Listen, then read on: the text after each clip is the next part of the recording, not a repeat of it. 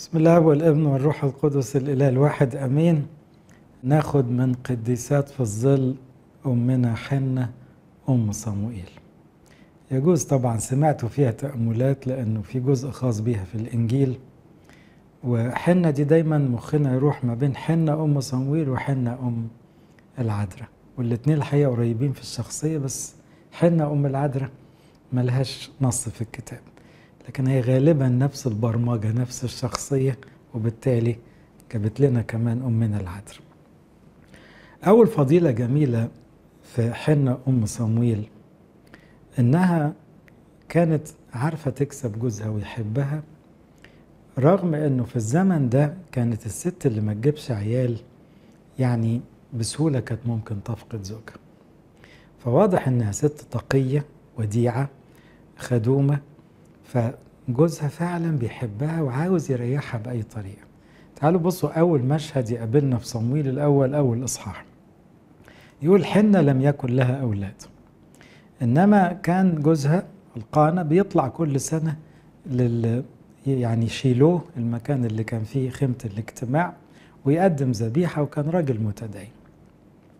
وكان عشان يراعي حنة يقول أعطاها نصيب اتنين لأنه كان يحب حنة.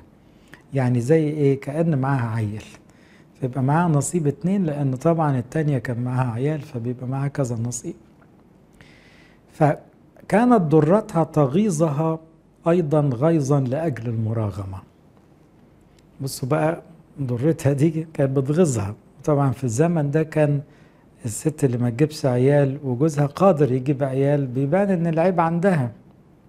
فالكلام بيوجع وكلكم تسمعوا إنه المرأة اليهودية عموما تتوقع أن يأتي المسيح من نسلها فكانت ممكن تحس إنها زي اللي مغضوب عليه هنا أول رسالة عاوز أقولها لكم. أمنا حنة أكيد كان عندها صغر نفس لأنها حاسة إنها أقل من الستات اللي جابوا عيال. بالذات كمان إن ارتبط الفكرة دي يمكن ربنا غضبان علي فمش جايب لي عيال. وعشان كده مش عمر ما هيجي مني المسيح. رغم الفكر السائد ده إنما حنة دي شخصية غلبت صغر النفس. ودي حتة جميلة قوي يا ريت كل البنات والستات يتعرفوا عليها. إزاي الواحد يقاوم فكر اليأس وفكر إنه مش نافع وإنه فاشل وإنه ملوش لازمة؟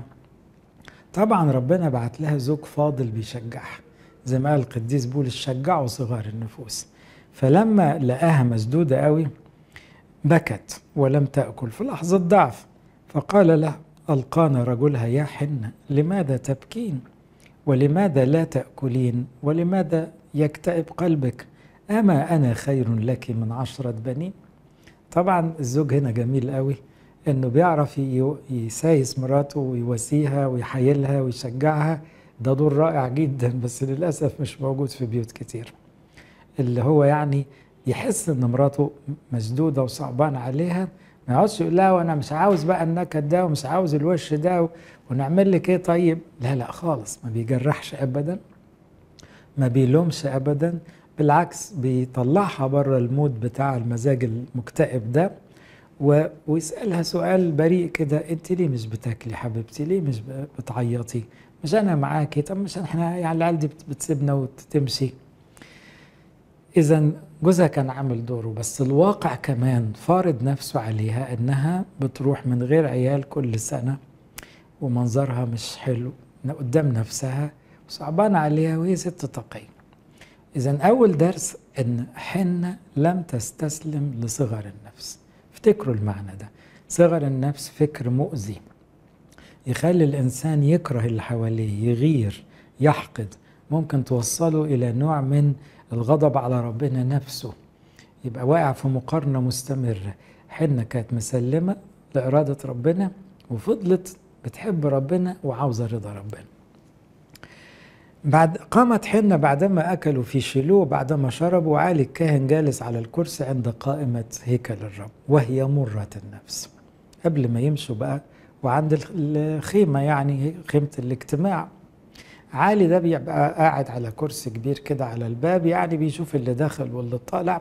طبعا أنتوا عارفين عالي الكاهن وقصص ولاده بعد كده. انما الراجل ده في الأول كان تقي يعني. فلقى واحدة بتبكي بحرقة وفي الزمن ده بقى بيشربوا خمرة وفي لخبطة كتير. فهو افتكرها ملخبطة يقول صلت إلى الرب وبكت بكاء ونظرت ندرا وقالت يا رب الجنود إن نظرت نظرا إلى مذلة أمتك وذكرتني ولم تنس أمتك بل أعطيت أمتك. حد خد باله قالت كم مرة أمتك؟ ثلاث مرات في جملة واحدة. عشان دي اللي هتخلينا نفهم العذراء بتقول إيه على فكرة. العذراء قالت هو ذا أنا أمة الرب. خلي بالكم العذراء أمها اسمها حنة فأكيد بيتشفعوا أو بيرجعوا لحكاية القديسة حنة.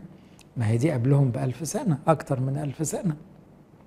فأمها الست العظيمة دي بتجيب سيرة حنة كبيرة كتير وأكيد حافظين الآية دي. إن نظرت نظرا إلى مذلة أمتك وذكرتني ولم تنس أمتك بل أعطيت أمتك زرع بشر فإني أعطي للرب كل أيام حياته ولا يعلو رأسه موس. يبقى حنة عندها تعبير جميل كده نقلته أمنا العذراء وعلمته لنا كلنا في العهد الجديد. هو ذا أنا أمة الرب. أنا رب عبدتك. أنا خدمتك. إذا حنة مش داخلة تعترض على إرادة الله. ولا تتخانق مع ربنا. ولا زعلانة مع ربنا. ولا بتجيب كلمة أبدا كلمة اشمعنى. مفيش اشمعنى خالص. يا رب أنا عبدتك. أنا أمتك. انظر إلى مزلتي افتكرني يا رب. ما تنسانيش. لو اديت أمتك يعني نسل زرع بشر أنا هرجعه لك يبقى عارية يعني إيه نذير للرب.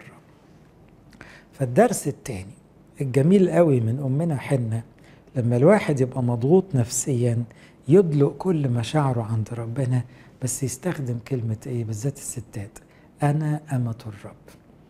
صدقوني الآية دي الجملة دي الكلمة دي ليها تأثير عجيب في الصلاة. يا رب أنا عبدتك. اعمل فيا اللي أنت عاوزه. أنا أنت خلقتني وأنت بتحبني وشوف مصلحتي. هقبل منك كل حاجة لكن إن ذكرتني ولم تنسى أمتك وأعطيت أمتك زرع بشر أنا كمان يا رب عاوز أفرق يعني أديهولك هدية. فالدرس الأولاني هي ست ما ما بتكرهش وما بتغيرش. متألمة ربنا بعت لها راجل يطبيب خطير. لكن لما ألمها زادت عارفة طريق الصلاة الصلاة الخاصة وتعبر عن مشاعرها بينها وبين ربنا وما تنكدش على حد. ودموعها دي بينها وبين ربنا. ما أقوى الأم اللي بتعرف تقفل على نفسها وتحل مشاكلها في الصلاة. وتدخل ربنا في كل صغيرة وكبيرة وترمي همها كله على ربنا. والمشاعر بتاعت اليأس والصغر النفس دي بتدوب خالص بروح الصلاة الجميلة. وكان إذ أكثرت الصلاة يبقى دي ست بتصلي كتير أكثرت الصلاة.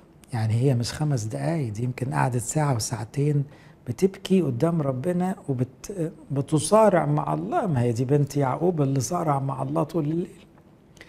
وعالي يلاحظ فما الراجل بقى شايفها من بعيد كده وشها مغير وبتقول حاجات محدش سامعها لأن مفيش حد بيصلي بحرارة في الزمن ده.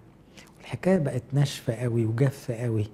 فما يعرفوش يعني إيه الروحانية والمسكنة بالروح والكلام الحلو بتاع الكتاب المقدس.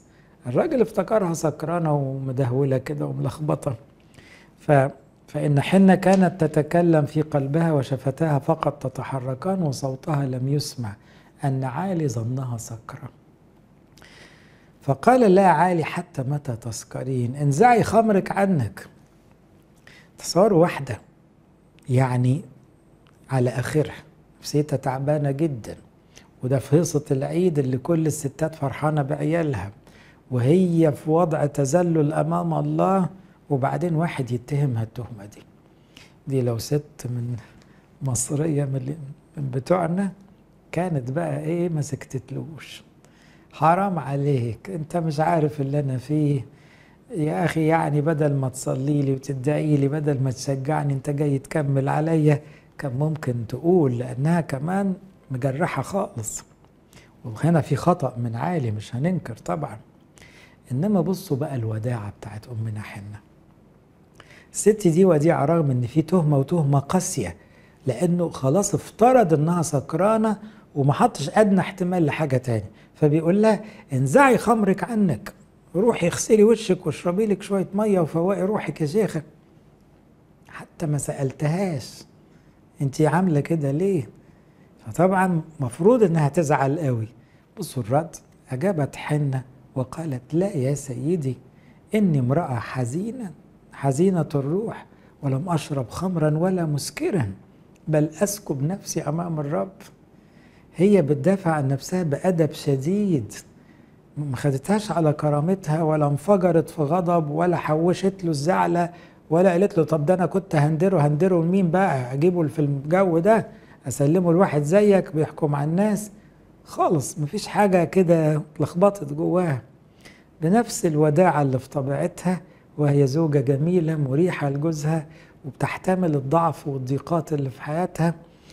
بأدب شديد قالت له لا صدقني أنا مش كده عمري ما شربت خمر ولا مسكر. طبعا ابنها يبقى كده. حطش الخمر في بقه أبدا. صمويل ده لأنه نذير الرب. أسكب نفسي أمام الرب. ده تعبير بيقولوا القديسين الكبار. يعني إيه؟ علمينا يا أمنا حنة بتعمليها إزاي دي؟ أنا بدلق نفسي قدام ربنا. بطلع كل مشاعري قدامه كل أفكاري بحطها قدامه بجيب أولي وآخري كده قدامه وأقول له بقى إيه رب ظبط أنت كل حاجة. شوف بقى عاوز تعمل إيه. بعري نفسي كده قدامه وأقول له أنا تعبان قوي وأنت الطبيب الشافي. أسكب نفسي أمام الرب. وبعدين لا تحسب أمتك أمتك تاني يا أمنا حنة. أمتك للراجل ده اللي ظلمك. أمتك أنا أمة الرب وأمة وكلاء الله كمان. ده وكيل الله. لسه بتحترمي عالي الكاهن بعد السمعة وبعد القسوة بتاعته معاكي؟ لا لا لا. ده رجل الله. شوفوا بقى النقاوة بتاعتها والطيبة والعين البسيطة. لا تحسب أمتك ابنة بليعال. أنا مش شريرة لا أنا ما عملش الحاجات دي أبدا. لأني من كثرة كربتي وغيظي تكلمت إلى الآن. غيظي هنا يعني وجع قلبي يعني. أنا صدقني مقهورة وعلى آخري فيعني كنت بصلي بحرقة مش أكتر من كده. وبتبرر نفسها وتقول له أمتك. إحنا سمعنا أمتك للمرة الرابعة ها؟ عشان نفتكر هو ذا أنا أمة الرب. عرفتوا بقى أصلها إيه؟ صمويل الأول إصحاح واحد. أمة الرب وأمتك كمان وخدمتك. وتلاقي العذراء بتقول لي يوسف النجار يمكن أنا أمتك يعني إيه؟ اللي تشوفه. بتقول حاضر على طول. ليه؟ ما جدتها كبيرة قوي دي. حنة اللي شبه أمها دي علمتها يعني إيه تبقى خاضعة. فهنا بتتكلم بأدب شديد مع رجل الله رغم أنه ظلمها طبعا ده يكشف لنا عن وداعة مش سهل وجودها أبداً. الست دي وديعة متواضعة جدا ترمي حملها على ربنا تسكب نفسها أمام الرب تعرف تفضي مشاعرها كويس قوي ما بتحكيش ما بتبرطمش ما بتكترش في الكلام كله يخلص مع ربنا مع الناس الدنيا حلوة. فأجاب عالي وقال طبعا عالي حس إنه غلط غلطة كبيرة. اذهبي وإله إسرائيل يعطيك سؤالك. كسف على روحه طبعا. الذي سألتيه من لدنه. فقالت لتجد جارية أمتك للمرة الخامسة. لتجد أمتك نعمة في عينيك. يعني ادعي لي اقبلني وصلي لي باركني يا أبونا. رغم إن هنا ظلمها. ثم مضت المرأة في طريقها وأكلت ولم يكن وجهها بعد مغيرا أدي فضيلة أخرى بقى. يبقى الست دي بتعلمنا الصلاة. والصلاة في صمت. وإنها ما تشكيش لبشر ما تشكي للمذبح أو تشكي لربنا بس. والخضوع لجوزها. وإنها الغيرة ما دخلتش قلبها رغم إن التانية بتغيظها والظروف متعبة عليها لكن عارفة تعالج روحها بروحانية حقيقية. وبعدين لما بتسمع كلمة مهينة بتفوت بسهولة قوي ما بيصعبش عليها نفسها. ومتمسكة بكلمة أمة الرب قبل من ربنا كل حاجة. بعدين بتوعد ربنا إنه اللي دول هترجعه له. هي مش عاوزة تفرح زي أي أم وخلاص. دي ست قوية قوي عاوزة تدي ولادها لربنا من البداية. عشان كده صمويل ده طلع راجل عظيم جدا. وبعدين نلاقي بقى فضيلة أخرى. لم يكن وجهها بعد مغيرا. أشطر واحدة فيكم تدخل تصلي ما تطلعش غير لما وشها يتعدل. لا مؤاخذة يعني وإحنا كمان.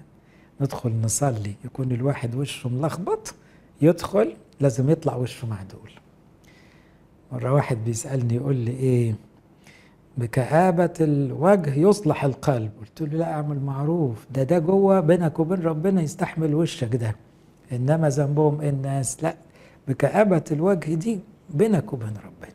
خلي وشك كئيب بس ده قدام ربنا بس لغاية ما تطلع الكآبة كلها وربنا يحتمل.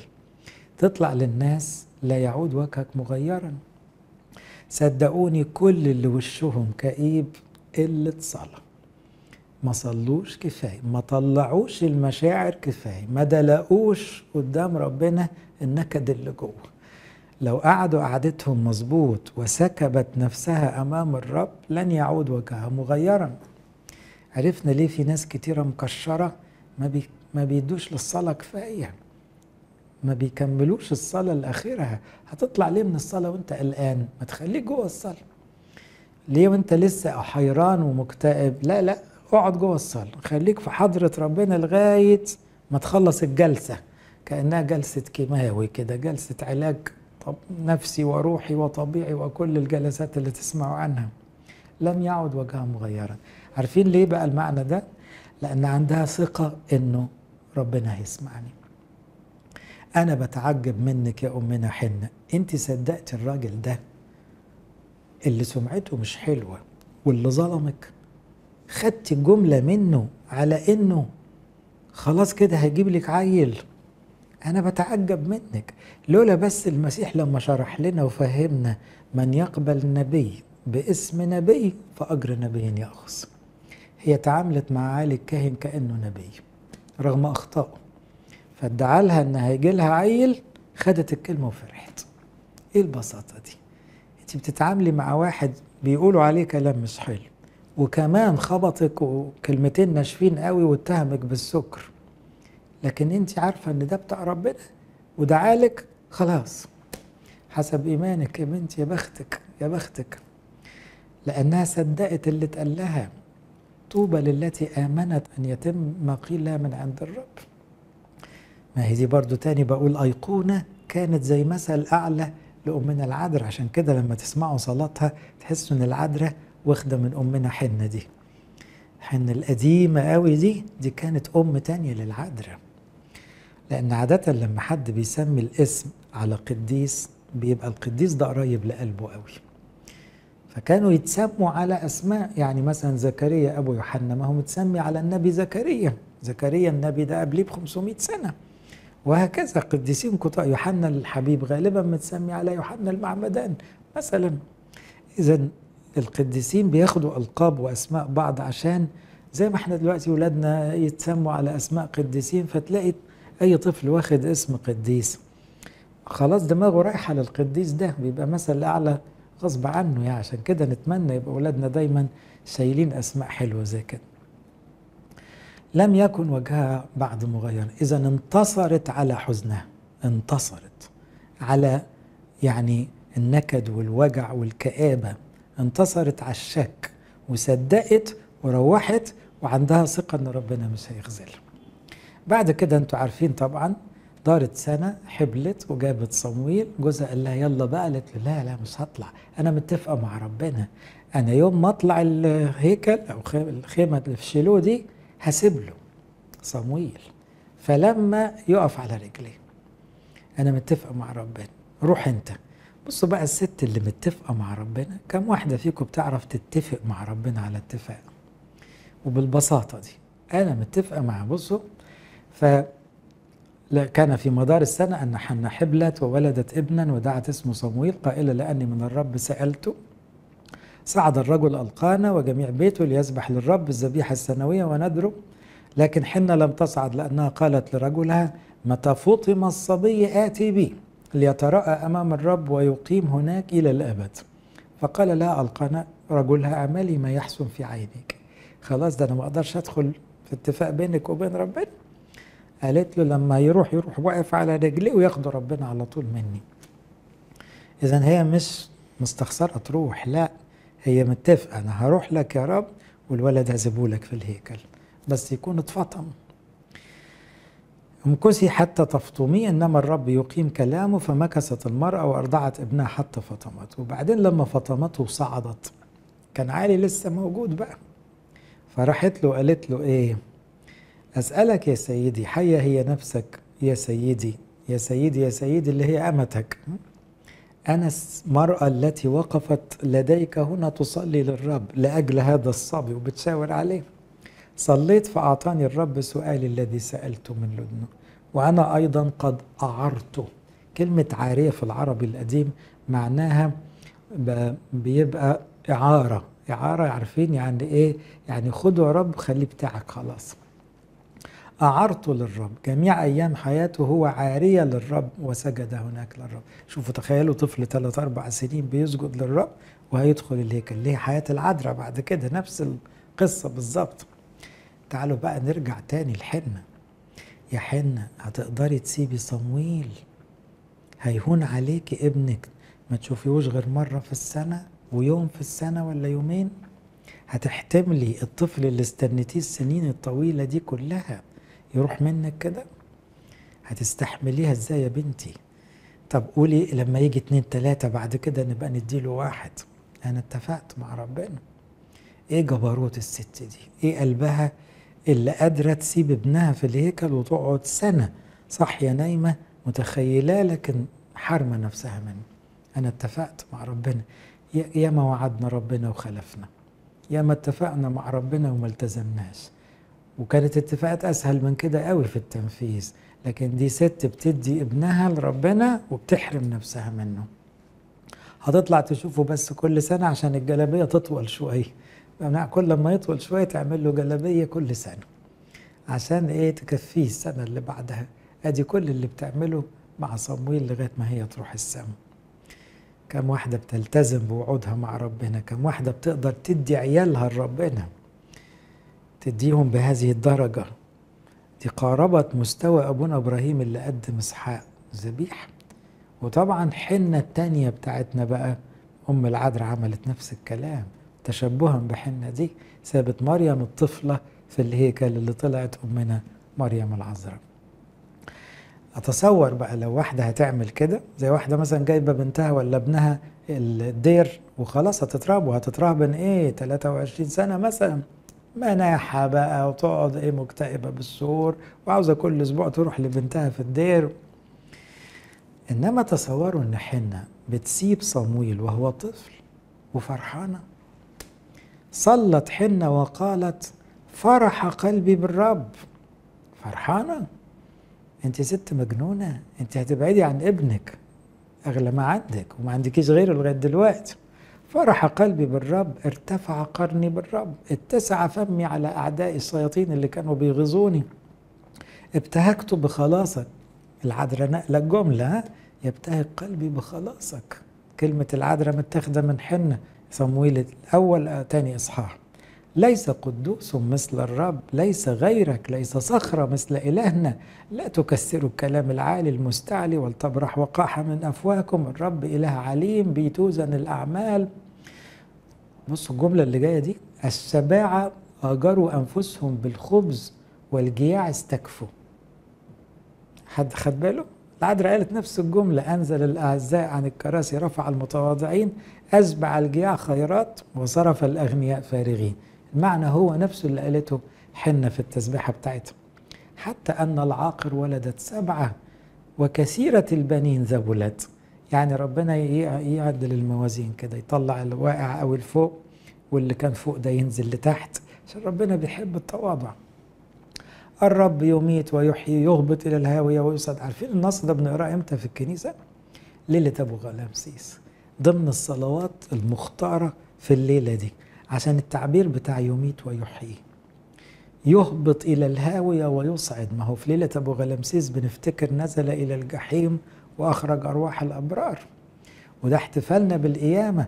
ما حنا دي زي اللي ماتت وقامت. فطبعا ضايقت طعم القيامة. الرب يفقر ويغني. يفقر ويغني.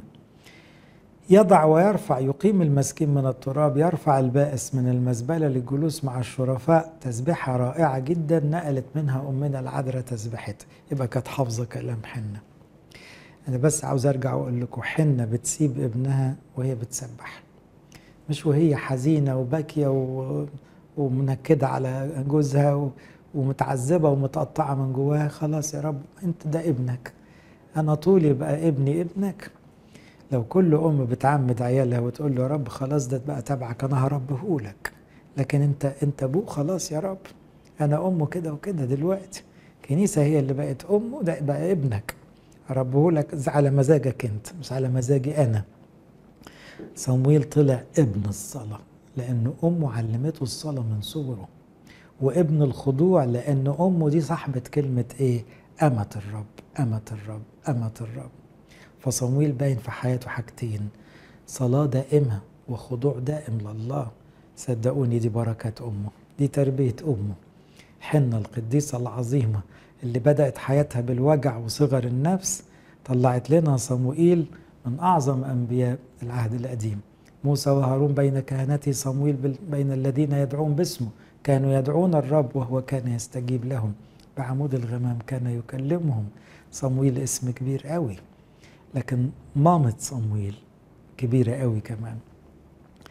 الأمهات بيصنعن قديسات وفي قديسة في الظل يمكن ننساها صمويل خد شغل كتير بعد كده. شفناه بقى وهو بيتلمذ شاول وبيتلمذ داود وبيعمل معجزات صمويل وربنا بيتكلم معاه طول الوقت من صغره.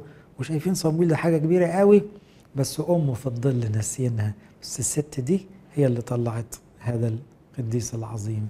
لإلهنا كل مجد وكرامة الأبد.